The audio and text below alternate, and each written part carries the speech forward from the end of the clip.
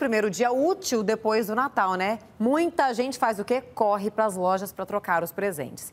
E aí os comerciantes aproveitam a oportunidade para vender um pouquinho mais, né? Que às vezes sempre cola uma vendinha ali. Mas é bom se atentar para as regras de troca de presente, por exemplo. Em loja física, essa troca não é obrigatória. Vamos tirar todas as dúvidas com a presidente do Procon Goiânia, Carolina Pereira, que está ao vivo conosco. Carolina, bom dia, obrigada pela participação aqui conosco, para explicar um pouquinho melhor né, o que é, o que não é obrigatório e quais os direitos também dos clientes. A troca de presente em loja física, ela realmente não é obrigatória? Manuela, bom dia, bom dia a todos os telespectadores da Record. Olha, não é obrigatória. Na verdade, o que, que acontece? As lojas, elas têm, às vezes, a política de troca própria para atrair mais clientes, para vender mais. O que, que o Código do Consumidor fala que é obrigatório? Apenas naqueles casos em que tenha vício no produto. O que, que é vício? Defeito. Então, se você comprou um, um produto, tá com defeito ali, você leva na loja, a loja é obrigada a trocar aquele produto para você. Agora, se você comprou um produto, não gostou da cor, não gostou do modelo, ficou apertado ou ficou largo, isso aí, cada loja vai falar a sua política de troca.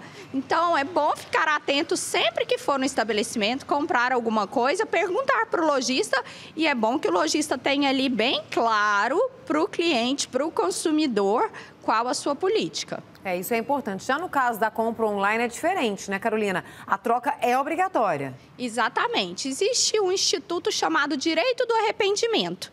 Não é só para compra online, tá? É para qualquer compra feita fora do estabelecimento comercial. Então, se você está ali navegando ali no seu Instagram e olha um produto, resolveu comprar pelo Instagram mesmo ou pelo WhatsApp, ou ligou na loja, ó, oh, quero esse produto, o produto chegou para você, você não gostou, você tem direito ao arrependimento de sete dias. Então, a, a loja que te vendeu o estabelecimento é obrigada a trocar para você. Agora, ou te restituir o dinheiro. Carolina, o que acontece muito, é, com essa pandemia, tem acontecido muito principalmente, é o que? A loja tem o WhatsApp. Você vai lá pelo WhatsApp, escolhe, compra e às vezes você vai buscar, né? Até mesmo em loja de shopping acontece isso. Você vai buscar, mas você comprou pelo WhatsApp.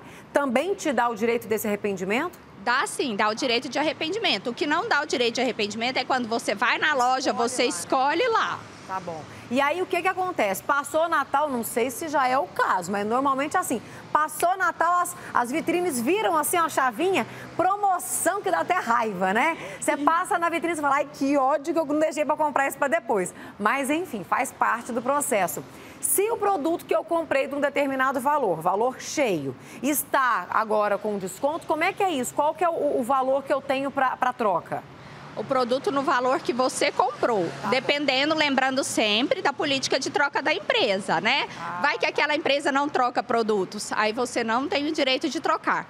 Mas se a empresa falou ali que troca, tá ostensivo, tá ali ó, na parede, trocamos produto somente nessa loja, ou somente a cor, ou somente modelo, é o valor cheio do dia que você comprou o produto. Às vezes vem aquela etiquetinha, né, na roupa é, é, ou na, na, caixa do sapato, prazo de troca 30 dias.